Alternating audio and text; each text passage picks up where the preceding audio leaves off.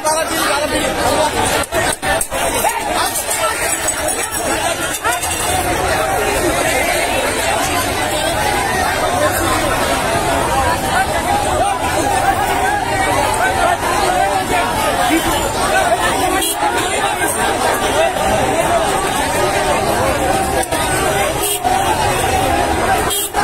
দর্শক, এই মুহূর্তে আমরা আছি সায়েন্স ল্যাবে এবং এখানে হাফ পাশের দাবিতে কিন্তু শিক্ষার্থীরা রোড ব্লক করে ফেলেছে এবং গাড়ি কিন্তু এখানে আমরা দেখছি কি মিরপুর অটো গাড়ির সামনে কিন্তু শিক্ষার্থীদের ভিড়। আমাদের এই আন্দোলনটা হচ্ছে আমাদের আমাদের যে দুটো দাবি আছে এই দুটো দাবি পালন মানতে হবে।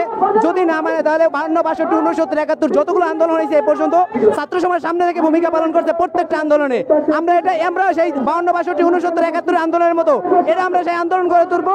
প্রত্যেকটা শিক্ষার্থী নিজ নিজ জায়গা থেকে সোচ্চার হবে এবং আমাদের দাবি মানতে হবে মানতে হবে। এটাই আমাদের এক কথা এক দাবি?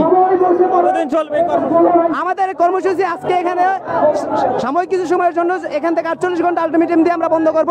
যদি না হয় তাহলে পঁচিশ তারিখ সকাল দশটায় নীলঘাট মোড় থেকে আমরা সমস্ত রোড ব্লক করে দেব এবং আমরা আমাদের দাবিগুলো উপস্থাপন করব।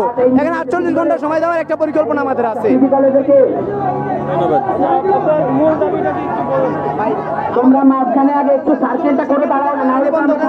দ্বিতীয়ত হচ্ছে প্রত্যেকটা জায়গায় আমাদের শিক্ষার্থীদের হাফ মাস নিশ্চিত করা।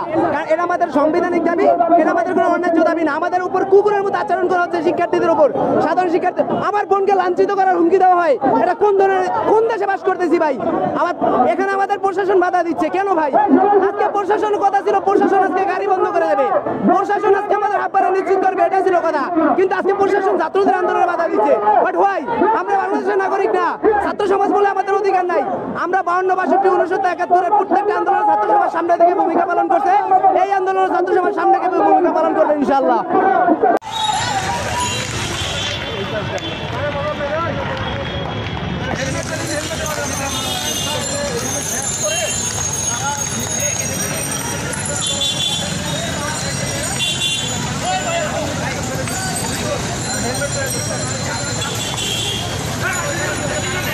Gracias.